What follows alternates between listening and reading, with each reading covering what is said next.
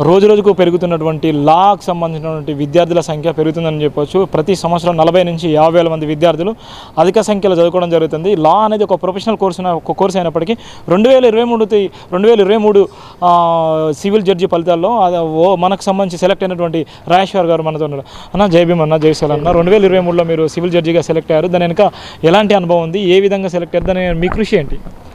నేను last year నేను last year మేలో నా ప్రిపరేషన్ స్టార్ట్ చేశాను ఆఫ్టర్ నోటిఫికేషన్ వచ్చిన తర్వాత. అప్పుడు హార్డ్లీ త్రీ మంత్స్ ఉండే ప్రిలిమ్స్కి సో ప్రిలిమ్స్ అప్పుడు నేను అంటే నా ప్రిలిమ్స్ స్ట్రాటజీ ఒకటి ప్రిపేర్ చేసుకొని దాన్ని ఫాలో అయ్యి ప్రిలిమ్స్కి ప్రిపేర్ అయ్యాను. దాని తర్వాత మెయిన్స్కి తర్వాత మెయిన్స్కి మళ్ళీ ఇంకో స్ట్రాటజీ బిల్డ్ చేసుకొని మెయిన్స్కి ప్రిపేర్ అయ్యాను. దాని తర్వాత ఇంటర్వ్యూకి మళ్ళీ నా ఫ్రెండ్స్ నాకు హెల్ప్ చేశారు. అంటే నేను ఏ వితౌట్ కోచింగ్ మా ఫ్రెండ్స్ నన్ను బ్యాక్డ్రాప్ నుంచి గైడ్ చేస్తూ ఉన్నారు. ప్రతి దాంట్లో నాకు ఏ సబ్జెక్ట్లో డౌట్ వచ్చినా అంటే నా స్ట్రాటజీ షేర్ చేసుకోవడానికి ప్రతి దానికి కూడా నా ఫ్రెండ్స్ నన్ను ముందుండి అంటే నడిపించారు. అంటే మీరు సివిల్ జడ్జిగా సెలెక్ట్ అయ్యారు. ఒక మారుమూల ప్రాంతాల నుంచి వచ్చేసి మంచిర్యాల జిల్లాలో ఎక్కడో చాలా దూరం ఉన్నటువంటి పరిస్థితి నుంచి వచ్చి ఎలాంటి ప్రిపరేషన్ లేకుండా చదువుతూ మాత్రమే మీరు ఆ జాబు సివిల్ జడ్జికి సెలెక్ట్ అయ్యడం జరిగింది. ఏ విధంగా దీనికి సమాజానికి ఏ విధంగా చెప్పాలనుకుంటారు యువతకి ఏ విధంగా మీరు చెప్పాలనుకుంటున్నారు? సో మనము అంటే పల్లెటూరులో ఒక అపోహ ఉంటుంది. ఎందుకంటే పెద్ద పెద్ద జాబులు మనతో కావు. ఇప్పుడు జడ్జ్ ఐఏఎస్ ఐపీఎస్ ఇలాంటి జాబులు మనతో కావు అవి మన రేంజ్ కాదు.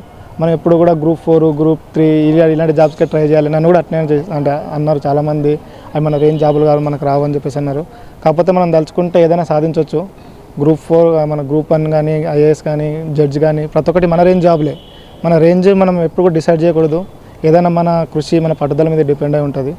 సో నేను ఇప్పుడు కూడా నన్ను నేను లిమిట్ చేసుకోలేదు. సో నేను కళలో జడ్జి జడ్జి గారిని కలగానే ఈరోజు జడ్జి ఉన్నాను అంటే ఓన్లీ సివిల్ జడ్జి అయినప్పటికీ రేపు పొద్దున ఉన్నటువంటి హైకోర్టు కానీ సుప్రీంకోర్టు కానీ ఏమైనా మేజర్ ఇష్యూస్ వస్తే ఏ విధంగా పరిష్కరించబడతాయి? సో ఇప్పుడు మేము అంటే జూనియర్ సివిల్ జడ్జి కాబట్టి మేము హైకోర్ట్స్ సుప్రీంకోర్టు యొక్క జడ్జిమెంట్స్కి ఫాలో అయ్యి మేము పనిచేయాల్సి వస్తుంది. సో వారు వారు ఏ జడ్జిమెంట్ ఇచ్చినా మేము దానికి లోబడే మేము మా జడ్జిమెంట్స్ రాయాల్సి వస్తుంది. సో ఒక జడ్జి అంటే మేము అంటే ఇది ఒక సర్వీసు అంటే ఇది ఒక సమాజ సేవ అని కాకుండా మేము ప్రజల యొక్క హక్కుల్ని కాపాడుతాం. ప్రజల హక్కుల్ని కాపాడడానికి నేను కృషి చేస్తాను. సో నా first priority is the protect the rights of the citizens and individuals మీకు ఎలాంటి స్ఫూర్తిని తీసుకున్నారు? డాక్టర్ బిఆర్ అంబేద్కర్ స్ఫూర్తి రాజ్యాంగానికి ఒక అద్దం పట్టేలా ఉంటుంది. రాజ్యాంగ స్ఫూర్తితోనే చాలామంది కూడా సివిల్ జడ్జిలు కానీ జడ్జిలు అయ్యే ప్రమాదం ఎక్కువగా ఉంటుంది. ఆ విధంగా మీరు ఏమైనా మోటివేషన్ తీసుకున్నారు? అవునండి. నాకు డాక్టర్ బిఆర్ అంబేద్కర్ అంబేద్కర్ గారి మోటివేషన్ చాలా ఉంది. ఎందుకంటే నేను చిన్నప్పటి నుంచి రెసిడెన్షియల్ స్కూల్స్లోనే చదువుకున్నాను. సో సోషల్ వెల్ఫేర్ రెసిడెన్షియల్ స్కూల్స్లో మాకు అంబేద్కర్ గారి నుంచి చాలా చెప్తారు. ఎందుకంటే వారు ఇచ్చిన ఇప్పుడు వాళ్ళు ఇచ్చిన పండ్ల యొక్క ఫలితాలమే మేము. వాళ్ళు ఇచ్చిన ఏదైతే కాన్స్టిట్యూషన్లో వాళ్ళు ఇచ్చిన ఫ్రూట్స్ ఉన్నాయో దాని యొక్క నిదర్శనం మేము. సో నేను అంబేద్కర్ గారి పట్ల నేను చాలా కృతజ్ఞత భావంతో ఉన్నా ఉంటాను ఇప్పుడు కూడా. ఇప్పుడు నేను అసిబాదు నేను నా స్కూలింగ్ అంతా అసిబాద్లో జరిగింది. అంబేద్కర్ గారు ఆసిఫాబాద్ సైడ్ అంబేద్కర్ గారిని ఎలా చూస్తారంటే ప్రతి ఒక్క ఇంట్లో అంబేద్కర్ ఫోటో ఉంటుంది. వాళ్ళ సైడ్ పెళ్ళిళ్ళు కూడా ఎట్లా అంటే మనకు బుద్ధిజం మేనర్లో పెళ్ళి జరుగుతుంది ఎందుకంటే అంబేద్కర్ బుద్ధిజం తీసుకున్నారు కాబట్టి సో అసిబాద్ ఏరియాలో చాలామంది బుద్ధిజం ఫాలోవర్స్ ఉంటారు. మా ఫ్రెండ్స్ చాలామంది బుద్ధిజం ఫాలోవర్స్ ఉన్నారు. సో ప్రతి ఒక్కరు ప్రతి ఒక్కరి ఇంట్లో మనకి ఇక్కడ కృష్ణుడు శివుడు ఎట్లా ఉంటారో ప్రతి ఒక్క ఇంట్లో బుద్ధుని ఫోటో ఉంటుంది ఒక అంబేద్కర్ ఫోటో ఉంటుంది అసిబాద్ ఏరియాలో. సో నేను అలాంటి బ్యాక్గ్రౌండ్ నుంచి వచ్చాను. కంపల్సరీగా నా మీద అంబేద్కర్ గారి ప్రభావం కంపల్సరీ ఉంటుంది. చూశారు కదా ఏదైతే రాజేశ్వర గారు చెప్పినట్టుగా అంబేద్కర్ గారి స్ఫూర్తిని మాత్రం చదివాను. అంబేద్కర్ గారి ఆలోచన విధానము నాకు ఒట్టిపడేలాగా ఉంది. ఎందుకంటే ఈ సమాజంలో మేల్కొల్పాలంటే అనగారిన వర్గాల గొంతుగా నేను నిలబడతానంటున్నాడు. ఏదైతే ఎలాంటి సమస్యలు వచ్చినా రేపొద్దున పరిష్కరించే విధంగా నేను ముందడుగుంటున్నాడు. దేనికి కూడా మనం ఆలోచించకుండా మనం ప్రయత్నం చేసేది ఏదైనా సక్సెస్కి దగ్గర ఉంటుందని చెప్తారు vote studio. College principal and the faculty. So I dedicate my success to my family and my college and my seniors and. So నేను ఈ కాలేజీలో జాయిన్ కావడానికి ద మెయిన్ రీజన్ ఈజ్ నేను టూ థౌజండ్ ఫిఫ్టీన్లో లాస్ట్ ఇయర్ రాసిన తర్వాత the best college అని search చేస్తే తెలంగాణలో OU and doctor BR Ambedkar college రెండే కాలేజీలు ఉండే సో అందుకని నేను లా అంబేద్కర్ లా కాలేజ్ చూస్ చేసుకున్నాను. సో చూస్ చేసుకున్న తర్వాత నాకు ఫస్ట్ ఇయర్లో పద్మజ మేడం గారు తను బాగా బాగా గుర్తు ఇంగ్లీష్ చెప్పేవారు ఫస్ట్ సెమిస్టర్లో సో నేను తెలుగు మీడియం బ్యాక్గ్రౌండ్ నుంచి వచ్చాను కాబట్టి నాకు ఇంగ్లీష్ చెప్పేటప్పుడు నేను అంటే కొంచెం బాగానే ఇబ్బంది పెట్టేవారు మేడం. కాకపోతే నేను బాగా పుల్ అవుట్ చేసి కష్టపడ్డాను నా దగ్గర నలిని మేడం నలిని మేడం అయితే మ్యారథాన్ కాంటాక్ట్ చెప్తే మ్యారథాన్ లెక్క నిలిపోయి అసలు అర్థమయ్యేది కాదు నాకు అంటే నాకు స్టార్టింగ్లో తెలుగు మీడియం బ్యాక్ నుంచి వచ్చిన తర్వాత ఇంగ్లీష్ మ్యారథాన్ లెక్క నిలిపోతే నాకు అసలు అర్థమయ్యేది కాదు. సో నేను సెమిస్టర్స్కి బాగా లాంగ్ అవర్స్ కూర్చోవాల్సి వచ్చేది. ఎగ్జామ్ పాస్ అవ్వడానికి. So thank you madam thank you for so and library madam I would thank to library madam అందరికీ మూడు మూడు బుక్స్ ఇస్తే నాకు మాత్రం నాలుగు ఐదు బుక్స్ ఇచ్చేవారు ఇంకా మేడంతో గొడవపడి మరి బుక్స్ తీసుకునేవాడిని నేనైతే. So thank you to library madam. నేను నా సక్సెస్ జర్నీలో ద మెయిన్ పార్ట్ వచ్చేసి నా ఫ్రెండ్స్ సో మై బ్రదర్ మన కాలేజ్ సీనియర్ తను ఎప్పుడు నాకు పక్కనే ఉండి నన్ను ఎప్పుడు గైడ్ చేస్తూ ఎప్పుడు నన్ను ముందుకు తీసుకెళ్ళాడు. So I would like to thank thanks so so నేను ఫస్ట్ బేరాక్స్ చదవడం కూడా తన దగ్గర నుంచే నేర్చుకున్నాను. ఫైనల్ ఇయర్లో బేరాక్స్ చదవడం కూడా రాదు. బేరాక్స్ చదవడం కూడా నాకు తనే నేర్పించాడు. దాని తర్వాత మేము డిస్కస్ చేసినప్పుడు లా గురించి డిస్కస్ చేస్తే గంటలు గంటలు డిస్కస్ చేస్తుండే. సో నాకు బాగా హెల్ప్ అవుతుండే దాని తర్వాత సార్ ఫస్ట్ ఇయర్ ఫస్ట్ సెమిస్టర్లో సార్ మా క్లాస్ రూమ్కి వచ్చినప్పుడు నాని పాలిక వాళ్ళ గురించి సార్ అడిగారు. అంటే నాని పాలిక వాళ్ళకి తెలుసా?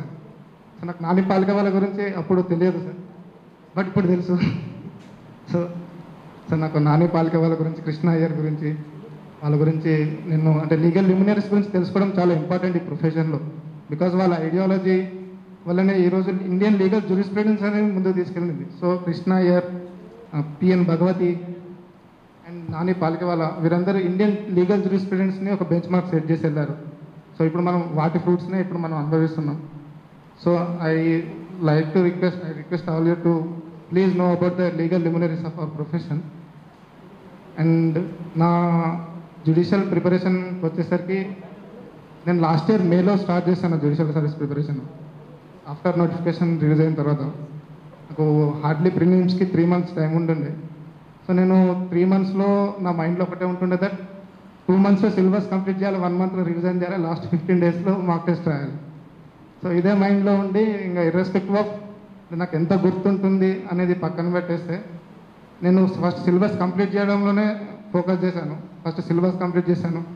దాని తర్వాత యాజ్ నేను షెడ్యూల్ చేసుకుని రివైజ్ చేసుకున్నాను. దాని తర్వాత మాక్ టెస్ట్లు రాశాను. సో మాక్ టెస్ట్ నాకు బాగా హెల్ప్ అయిన ఉండే నాకు ప్రిలిమ్స్లో నైంటీ త్రీ వచ్చినాయి out of hundred and then and then then తర్వాత నేను మెయిన్స్ కోసం హైదరాబాద్ వచ్చాను. మెయిన్స్ హైదరాబాద్ నుండి ప్రిపేర్ అయ్యాను. హైదరాబాద్లో మెయిన్స్కి answer writing previous year question paper answer writing బాగా చేశాను. నాకు అప్పుడు కూడా శ్రావణ్ అనేది బాగా హెల్ప్ చేసిండు. సో థ్యాంక్ యూ అన్న. థ్యాంక్ యూ ఫర్ సో నాకు మెయిన్స్లో చాలా హెల్ప్ చేసిండు. సో నాకు మెయిన్స్ అప్పుడు కూడా నాకు last before one week exam నాకు స్ట్రెస్ వల్ల చెస్ట్ పెయిన్ వచ్చిండే. లాస్ట్ వన్ వీక్ నేను రివిజ్ రివైజ్ కూడా చేయలేదు. సో నేను అందరిలాగా సివిల్ పేపర్ హండ్రెడ్ మార్క్స్ కూడా రాయలేదు. Only for eighty five marks నేను సివిల్ పేపర్ రాశాను. అండ్ రిమైనింగ్ ఫిఫ్టీన్ మార్క్స్ అయితే నేను అసలు అటెంప్ట్ కూడా చేయలేదు. లాస్ట్ ఎయిట్ మార్క్స్ క్వశ్చన్ ఒకటి ఫైవ్ మార్క్స్ క్వశ్చన్ ఒకటి అటెంప్ట్ కూడా చేయలేదు. And civil paper and criminal paper కంప్లీట్గా రాశాను. But I got selected. Even though నేను అవ్వదే అనుకున్నాను ఎయిటీ ఫైవ్ మార్క్స్కే రాసినాను నేను అందరు హండ్రెడ్ మార్క్స్ రాసినారు. నేను వచ్చేసరికి ఎయిటీ ఫైవ్ ఇంకా టూ క్వశ్చన్స్ అసలు అటెంప్ట్ కూడా చేయలేదు. అవుతుందా కాదా అని అనుకున్నాను. బట్ అయ్యింది. సో ఎట్లా అయ్యిందని నేను దాని తర్వాత అనలైసిస్ చేసుకున్నప్పుడు సో ద ఆన్సర్ క్వశ్చన్ అంటే ఆన్సర్ యొక్క ప్యాటర్న్ ఎంత క్వాలిటీ ఆన్సర్ రాస్తాం అనేది ఇంపార్టెంట్ రెస్పెక్టివ్ ఆఫ్ ఫర్ ఎగ్జాంపుల్గా ఇప్పుడు మనం రెస్డ్యూడికేటా అంటే మెయిన్స్ ప్రిలిమ్స్ క్లియర్ చేసి వచ్చిన వాళ్ళు ప్రతి ఒక్కరు రెస్డ్యూడికేట్ మీద రాస్తారు. So the how you present on the paper is important so నేను అందరికీ సజెస్ట్ చేసేది ఏంటంటే please try to improve your answer writing skills and practice more so me answer writing చాలా హెల్ప్ అవుతుంది. ఆన్సర్ రైటింగ్ బాగా ప్రాక్టీస్ చేయండి. సబ్జెక్ట్ని ఎక్కువ గ్యాదర్ చేసుకోండి. And is it important to go to coaching అంటే అవసరం లేదు. నేను కోచింగ్ అయితే వెళ్ళలేదు. నేను ఓన్ ప్రిపరేషన్తో వెళ్ళాను. నాకు నా ఫ్రెండ్స్ బాగా హెల్ప్ చేశారు. త్రూఅవుట్ ద మై ప్రిపరేషన్ నాకు ఇంటర్వ్యూ కూడా నేను ఎక్కడ మాక్ ఇంటర్వ్యూ చేయలేదు. నా ఫ్రెండ్స్ నన్ను ఇంటర్వ్యూ చేసేవాళ్ళు.